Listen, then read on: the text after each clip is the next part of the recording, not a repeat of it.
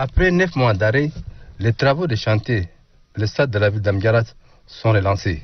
À cette occasion, le ministre de la Jeunesse et des Sports, Routang Mohamed Donga Christian, et son collègue des infrastructures, Ahmad Abakar Aguit, en séjour à Amgaras dans le cadre de la tournée du maréchal du Tchad Idriss Déby Itno, président de la République, ont visité le stade en chantier.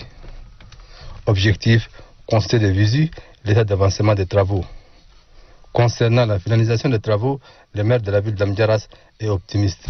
Donc je pense qu'on est optimiste et l'entreprise va avoir ses décomptes pour pouvoir avancer les travaux.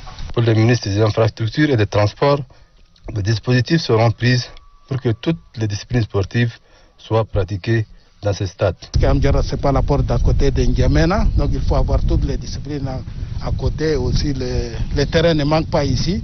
C'est l'occasion donc au ministère de demander à M. le maire de leur attribuer un terrain en extension pour voir donc tout ce qui est discipline. Le ministre de la Jeunesse et des Sports a quant à lui exhorté les entrepreneurs en charge de la construction à doubler d'efforts pour finaliser les travaux.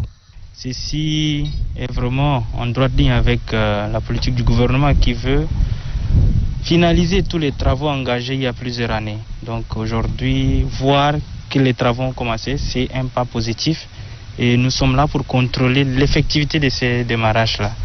Selon les techniciens de l'entreprise Alam, les travaux de ce stade de 9000 places prendront fin dans 4 mois.